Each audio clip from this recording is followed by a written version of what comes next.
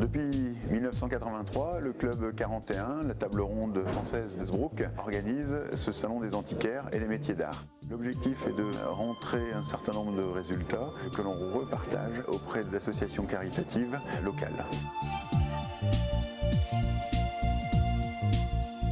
Un antiquaire, c'est pas seulement un acheteur, un revendeur, il a un travail de préparation de son mobilier, de ses objets d'art, ses objets de collection.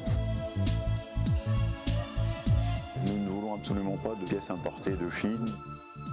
Moi je suis déjà venu euh, ce matin vérifier avant l'ouverture du salon le niveau de qualité, d'authenticité des pièces qui sont exposées. Donc tout a été vérifié, trié, ce qui n'était pas digne d'être ici a été enlevé de la vente. Mon rôle est d'authentifier, de renseigner et de tenir le niveau de qualité du salon.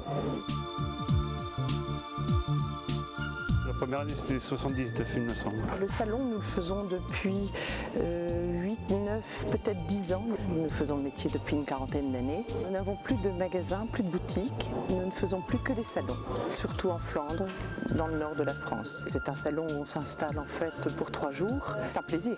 Comme ça fait euh, pas mal de temps que nous faisons le métier, la clientèle, euh, nous la connaissons bien. On envoie beaucoup d'invitations et on attend euh, nos clients, les anciens, les nouveaux. On aime beaucoup ce salon.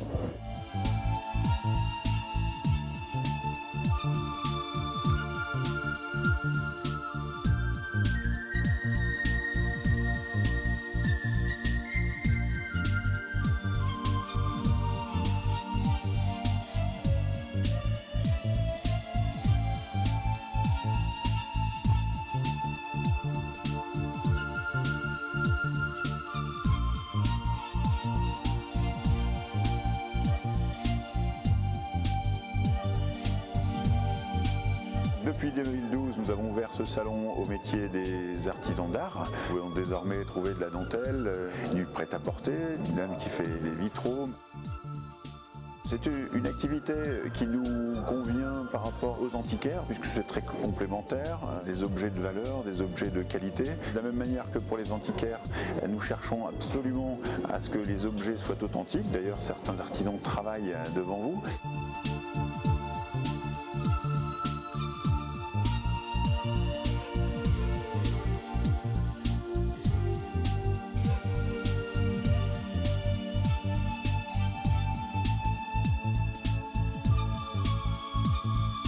Donc le club 41 et table ronde sont heureux de vous retrouver. À l'espace Flandre à Hasbrook, toujours pour le troisième week-end de janvier.